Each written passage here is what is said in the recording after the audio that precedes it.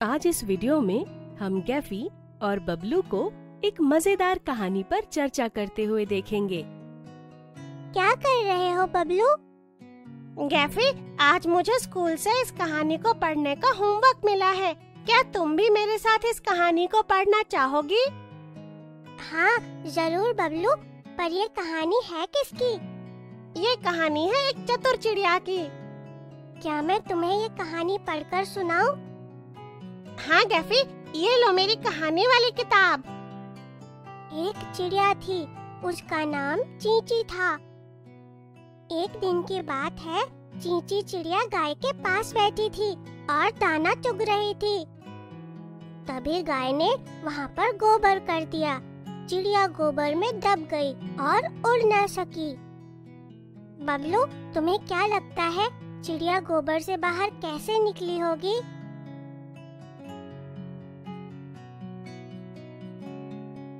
गैफी मुझे लगता है उसने किसी से मदद ली होगी। चलो, कहानी में आगे बढ़कर पता लगाते हैं। चिड़िया ने देखा कि एक कुत्ता उसके पास से गुजर रहा है। चिड़िया ने कहा, कुत्ते भाई, मुझे बाहर निकालो।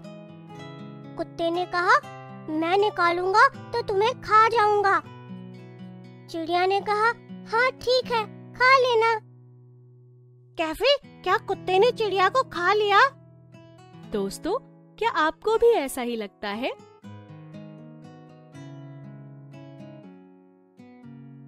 चलिए आगे पढ़कर पता लगाते हैं।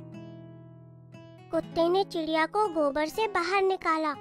चिड़िया ने कहा पहले मुझे धो तो लो। कुत्ता चिड़िया को नल पर ले गया। वह चिड़िया को धोकर खाने लगा। चिड़िया ने कहा पहले मुझे सुखा तो लो। कुत्ते ने चिड़िया को धूप में रख दिया। थोड़ी देर में चिड़िया के पंख सूख गए। अब बताओ बबलू तुम्हें क्या लगता है कि कुत्ते ने चिड़िया को खा लिया होगा? दोस्तों आपको क्या लगता है?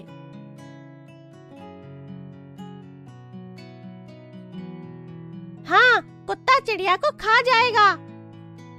कहानी में पढ़ते हैं कि आगे क्या हुआ। चिड़िया के पंख सूखते ही वह उड़ गई और कुत्ता उसे देखता ही रह गया। सच में बहुत चतुर चिड़िया थी। दोस्तों अब आपकी बारी है स्क्रीन पर दिए गए प्रश्नों के उत्तर सोचकर अपनी कॉपी में लिखने की। आपको ये कहानी कैसी लगी? आपको कहानी में कौन सा किरदार पसंद आया और क्यों? अपना उत्तर अपने परिवार के सदस्यों और दोस्तों के साथ ये कहानी सुनाकर साझा करें। बच्चों, इस वीडियो में हमने एक मज़ेदार कहानी पर चर्चा की।